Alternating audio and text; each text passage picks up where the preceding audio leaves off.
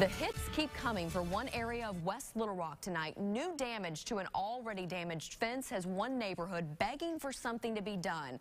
Tyler Thomason joins us to explain how costs continue to rise, and so do concerns. Ashley, yeah, along Hinson Road, mangled or missing pieces of fencing have become a common sight. Neighbors tell me it's from drivers losing control, and two new accidents, as you mentioned, over the holidays have caused costs and concerns to rise.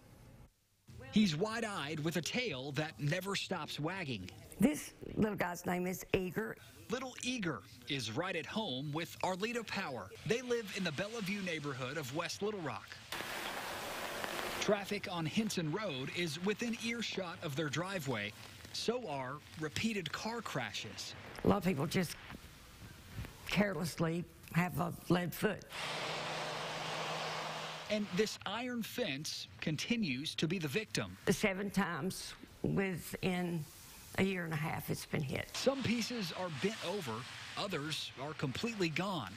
The most recent damage came after two crashes during the Christmas holiday. A lot of them, uh, quite honestly, don't have any insurance. Power says the city owns the fence, but her Property Owners Association maintains it.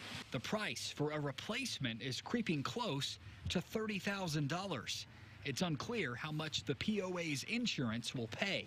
Just seemed like it all kind of snowballed together.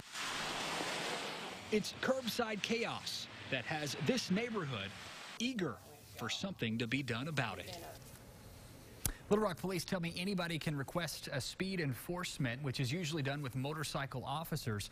Arlita Power tells me she plans to address the city board with these concerns, and she's hopeful for a new traffic light there. Ashley, back to you.